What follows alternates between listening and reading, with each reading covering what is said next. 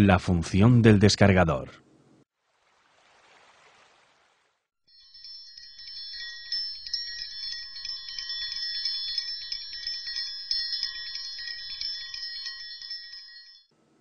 Cuando no se desea que el agua entre a la turbina, bien porque ha habido un corte eléctrico o por cualquier otra razón, se cierra la válvula de mariposa y se abre otra tubería que desvía el agua a otro caudal.